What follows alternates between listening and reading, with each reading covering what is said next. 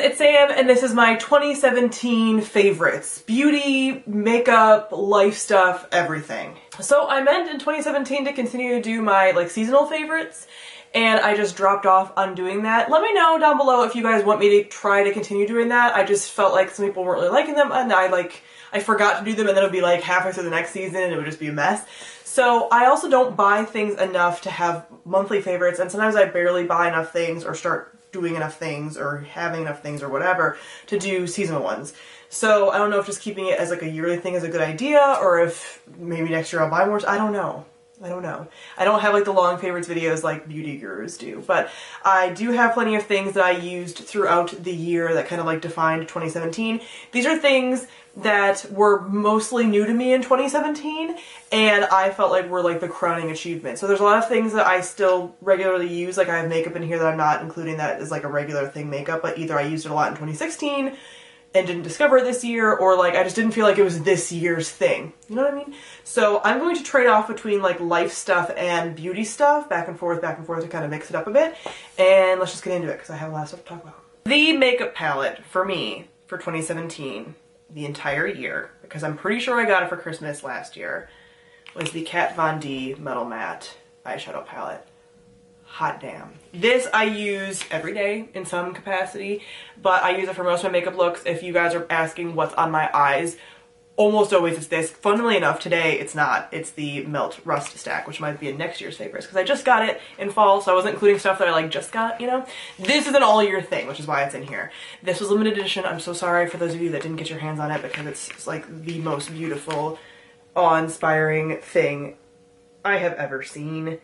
I mean, look, it has the like foiled eyeshadows up top and then it has the mattes on the bottom. I almost didn't get this. I almost didn't ask for this for Christmas last year and I would have been so upset because I use this all the time. I think you can create so many looks with this and I find it so inspiring and I like the like pops of metallic on the lid a lot and all the mattes and the Kat Von D shadows are some of my favorite formulas and it's just beautiful.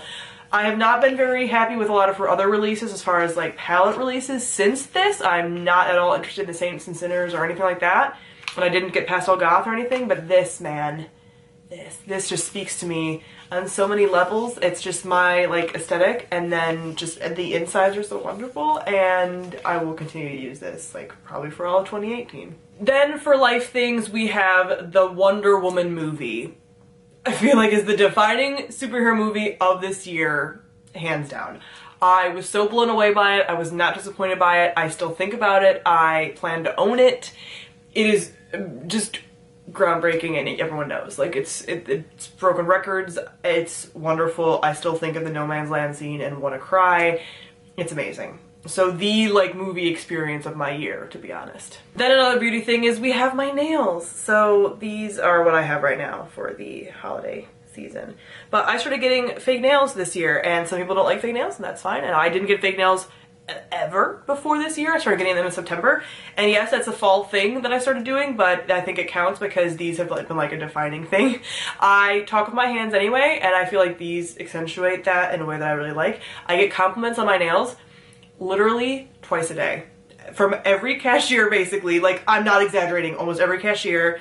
Every like service staff like someone that would see your hands because you're like paying for something. Waitresses people at different jobs. Like everybody talks about my nails. And no i don't do things just for compliments but like it's just one of those things that like brightens your day when you get so many compliments on something like that all the time. And although i don't do these things on my nails i go to somebody. But I get the designs and I tell them what to do, you know, so like I bring the inspiration and they really like me at my salon as well and they're always like, oh my gosh, what do you have now?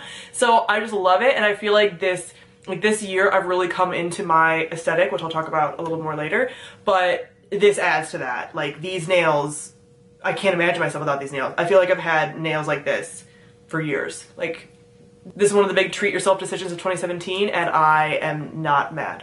I'm very happy with it and I will continue to do it because I love them and they just like complete my look and my feeling and just like go with my personality. I just love them. Another media type thing is Stranger Things. So I didn't watch Stranger Things when it first came out, the first season, and I haven't caught up in the second season, so I'm really sorry please don't talk to me about it.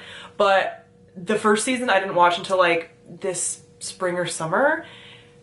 Oh my god, I love it so much. It's one of my new favorite TV shows. The fact that we haven't caught up on it is a goddamn crime. I want to catch up on it. But somebody else that I was watching it with um, hasn't been very motivated.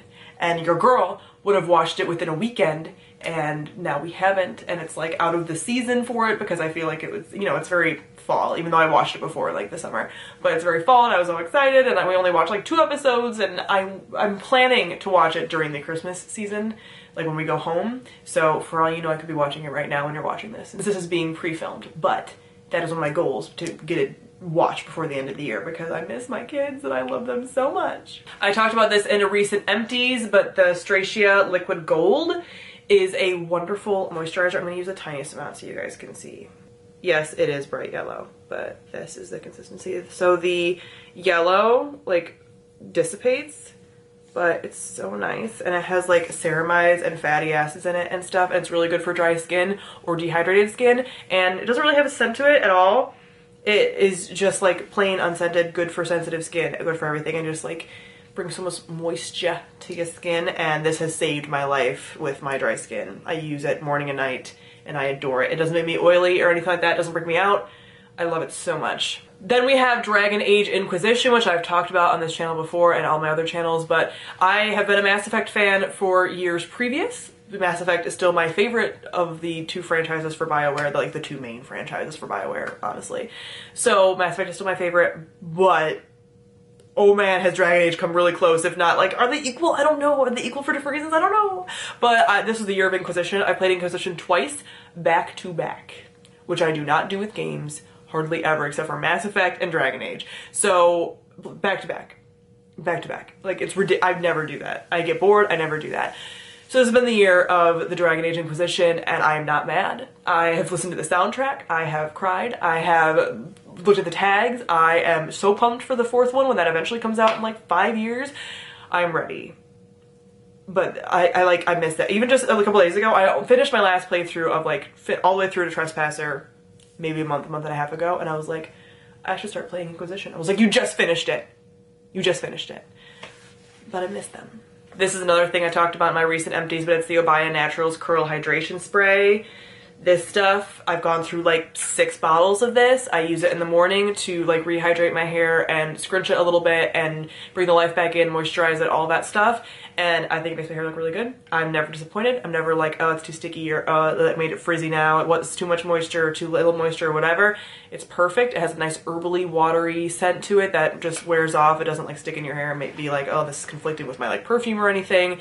It's awesome and I will continue to repurchase it. But this was like my best find of 2017. I tried to find other like hydration sprays throughout the year and nothing compared to this so far. My next thing is Lululemon leggings, which I know is a splurge, but oh man. I now own four pairs that I've bought throughout the year because like they're expensive. They're they're expensive and I know, but they last. I don't put them in the dryer or anything like that and I lift in them. So I lift weights, that's my thing, that's what I do. And these make you look amazing. They're super comfortable.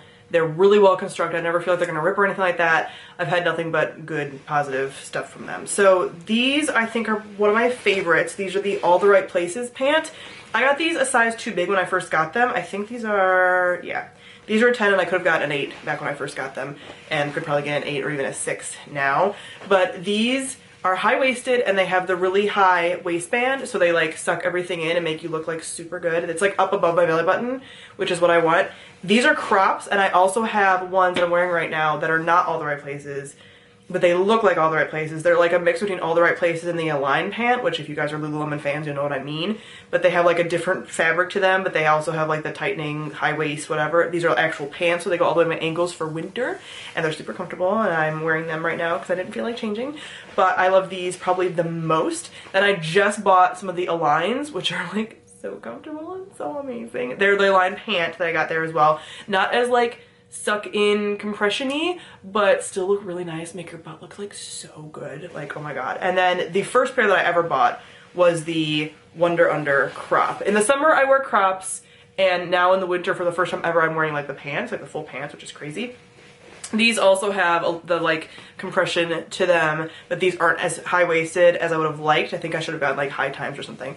But these are amazing and I've had these since like April or May of this year. And then the pants I just got in November but have loved. So Lululemon's man, they're a splurge. Uh, two of these I got at the outlet so they weren't as expensive but they're still pretty expensive if you can't afford to like invest in your fitness gear, that's totally fine. I choose to because I spend a lot of time in it and this is really like long lasting and not sheer and I can squat in it. They're squat proof and they just make me look awesome. And I only ever get the black, so I don't know how sweat proof any of these are. I just, I'm always afraid I'm gonna look like I peed myself if I get like any other kind from sweat. I'm not a huge sweater, but like it makes me nervous. So I only ever get these kinds, but I've heard amazing things about other ones. I'm not gonna try them on for you because there's a million and a half fitness gurus that wear these all the time that you can look up and find. I'm not doing that. But they make your butt look awesome, man. And they just make like everything look great, poppin', amazing. I go into Lululemon, I try things on, I'm just like, oh my god, it looks so good. It's great. This was really the year for Kat Von D and me, man, because the other thing is the Kat Von D Everlasting Liquid Lipsticks. I actually own four, but I lost one of them. Mari sending it back to me because I left it uh, in her purse at YALLFest. so, oops. But these are the three that I have right now. So I actually own Haze 1 and Haze 2, which are limited edition. And then Witches, which is the black that I wear like all the time. And then Dagger. And I want to get more, but I have other liquid lipsticks that are like similar shades to some of the ones that I want from her. So like, I don't need to get them. But I really like this formula. It's not my favorite, but some of my, like my actual favorite formula is from a brand that I don't buy from anymore. And I don't want to like support in any way, but if you read my description boxes, you'll sometimes see uh, that brand pop up, but that's just because I bought them a couple years ago and I'm not going to throw them out because money, you know?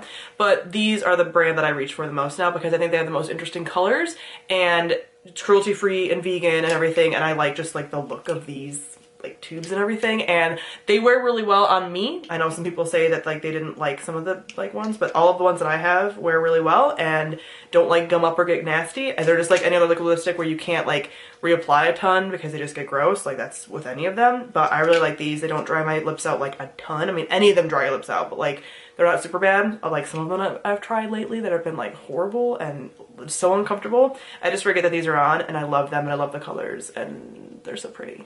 This might be a weird one, but it's my toothbrush. So I got one of the fancy, like this is the Philips Sonicare. I don't even know which, which kind this is. It's one of the like electric toothbrushes and I got this because in the spring I was noticing like my gums were hurting and I feel like my teeth have gotten like a little bad since chemo but because chemo just fucks up your teeth kind of. It stains them and just like it's nasty. Chemo can be nasty but it saves lives so it's important. But this is amazing and I love them and I feel like it's really helped my teeth. It helped my gums. Within a week of using this my gums no longer hurt and my gums were hurting like every time I brushed my teeth before and I got first the gum health toothbrush head and then now I'm using the whitening one. And I've noticed like a little bit of whitening not like you would notice with like professional whitening but like enough. And I love this. And it, it's the kind of where you you put on where I hear that. And it beeps for each like section or like it it unvibrates. So it's like zzz, zzz, to make you switch. And I love this a ton. I'm sure it makes my dental health like way better. And yeah, so like for every 20 seconds it tells you to switch so you know that you're brushing your teeth for the correct amount of time because I know damn well that I didn't brush my teeth for the correct amount of time when I was using a manual toothbrush. I didn't. This forces me to and I love it. And it's such like an adult thing to say and like talk about as like a 2017 favorite, but I love it. We have the Benefit Gimme Brow. Now, this is in the color 3, and the reason I love this is because it has the teeny, teeny, tiniest little brush head. And this has little fibers in it, so it adds some body to your brows. And I love it because like, look, like it's the size that it needs to be. So I adore this. I've used other brow gels and tinted brow gels and the, the wand is huge. It's like a mascara wand and it's like, hi, my eyebrows are not that big. Like they're just normal size. They're not like too big or too skinny or anything like that. So like I need a smaller one and this is really great and it thickens them and like fills them in really nicely. So I use this in combination with the Anastasia Brow Wiz to like draw lines at the end to make it like extend it a little bit. And it's like the perfect brow combination. So I will probably continue to buy this unless there's another brand that's like very similar, same little tiny, tiny wand, but this has been great. I have two bands that I feel like have defined this year. The first one is Dorothy.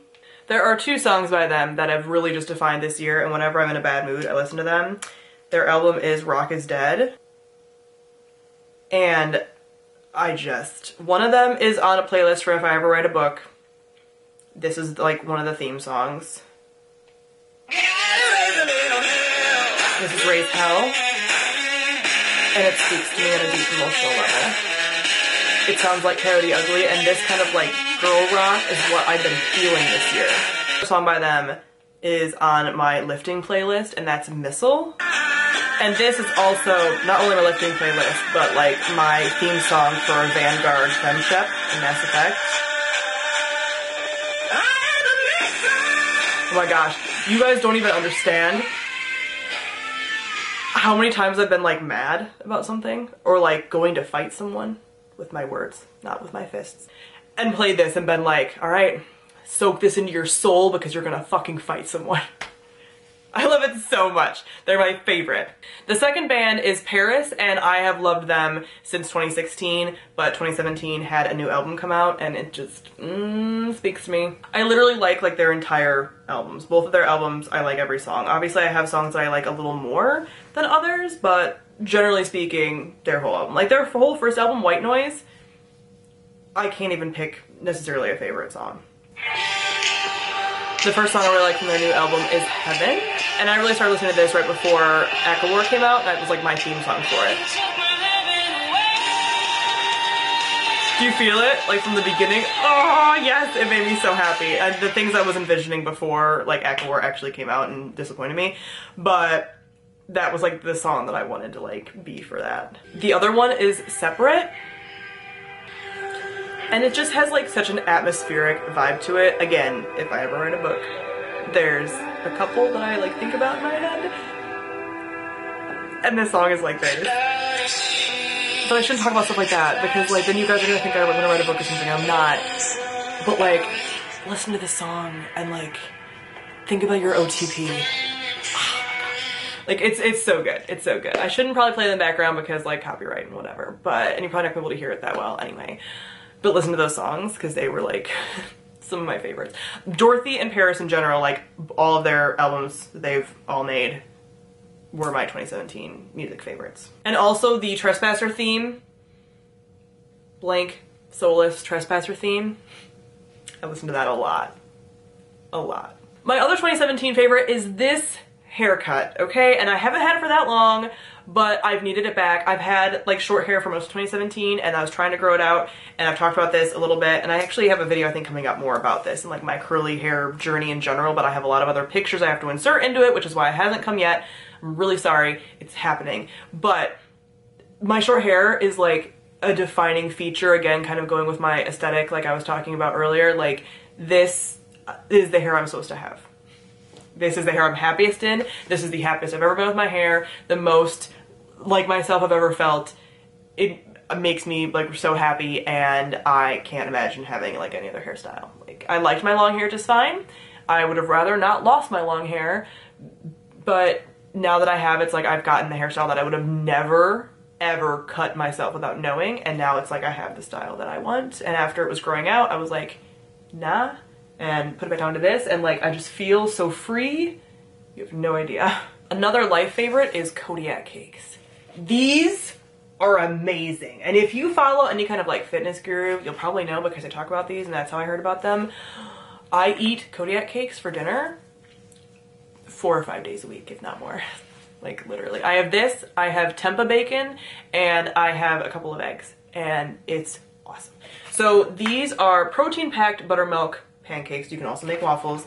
And a half of a cup, which makes about three flapjacks, has 14 grams of protein. So like I said, your girl lifts. And these are awesome. Hello, this is Sam from the future, but also Sam of the past because this was filmed after I filmed the other video, but way before you're seeing it. It's weird but a little bit of the footage got cut off, so here I am. But basically I was saying that the Kodiak cakes are awesome. I have them multiple times a week, and they taste just like buttermilk pancakes. They're awesome. I don't even need to use milk or eggs or anything. You can add that in if you want to, but like the consistency is great. They're super easy to make, really good for a quick like breakfast for dinner type situation, and they're bomb. The next thing is actually a skincare method. So I've talked about this in my like skincare videos and stuff, but it is the multiple skin method. So three skin, five skin, seven skin, whatever. What that means is because in Korean skincare they call their hydrating toners skins sometimes, which is a weird thing, but I've gotten used to it. And it's just layering on very thin layers that are hydrating, thin hydrating layers. And that's really helped to get my skin in check. My skin, I've definitely discovered, is more dry, like I've talked about recently. So having these lighter, like lots of lighter layers as far as hydrating things has helped a ton. So I end up using a toner where I use two skins of it, so I use two layers and I usually pat it out, which is why I'm making this motion. And then I have another one that I follow up with that's three. So I will do multiple thin layers and that really helps instead of globbing like thicker layers on, the tons of thin layers help to really sink into my skin and hydrate. That's been helping my skin a ton. Now back to past, but also super past me. The next thing is my Hydro Flask, and I've actually been using this technically since 2016, but then I lost mine. So I got this when I had cancer and I needed it for chemo because you need like to really take your water intake to the next level. And I'm a person, people are gonna probably make fun of me, but I need like freezing cold water, and I also don't like water that's been sitting out for more than like maybe an hour or two. Kind of like that kid in Signs, I'm pretty sure, because I feel like there's floaties in it. Like not that there's dirt, it's just the nature of like having a house and it being like dusty and there's just stuff in the air. But I always feel like there's a film, even though I know there's not, of like stuff on the top of it if i am using open container. So I have to have something that's closed. I know it's like super weird, but it's just how I roll.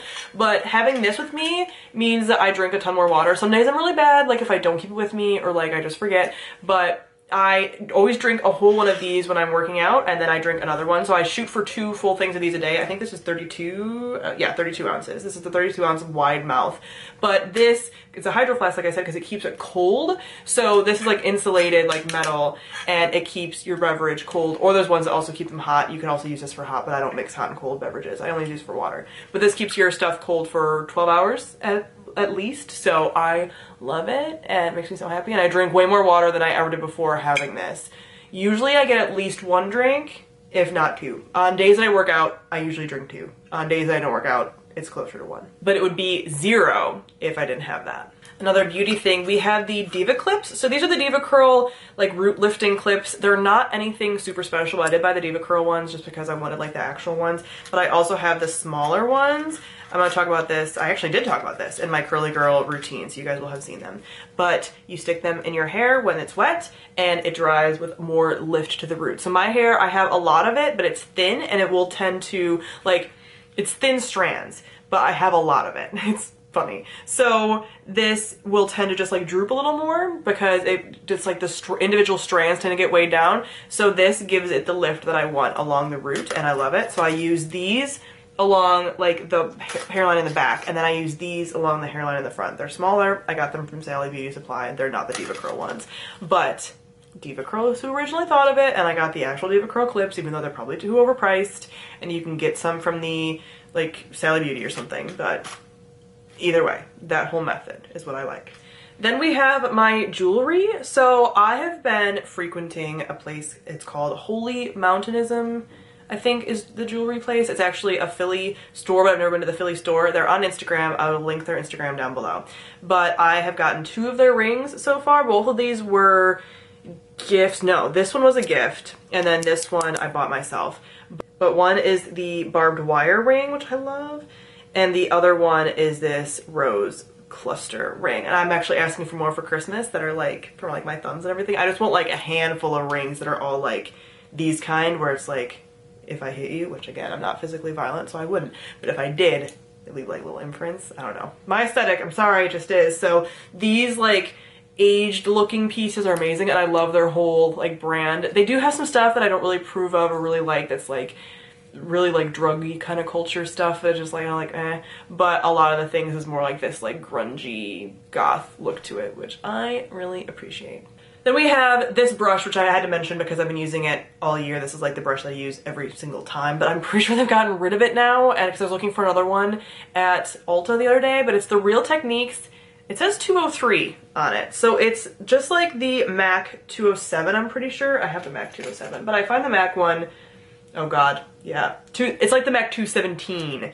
So they're comparable. But I find the MAC one a little more scratchy, but I might have to start buying the MAC again because they don't, I think, have these. But these are cruelty free because I'm pretty sure they're synthetic fibers. But it's very, very soft and it's wonderful for blending. I think it was like their like mixed metal collection. It's the Real Techniques like mixed metal, but I think people thought they were overpriced and didn't get them. I love them. I think they're super high quality, but I don't think they make them anymore, which makes me so sad. Then another fitness related thing, because being in the gym has been a little more of a thing this year than it has been in previous years, but these are Bluetooth headphones. Now these are the MPOW ones, and they just are Bluetooth. They connect to your phone, and then you put them, I don't even have them on the right way. Put them on, do this, and you put them in your ear, and then you don't have to worry about a cord at all. It's amazing. It doesn't like fall or like I always ripped my headphone cords like out when I was doing anything and they would just get stuck and it would be awful. These are awesome. They last about like three gym sessions so I have had times where like they've been dead when I've gone or they've died really quickly where like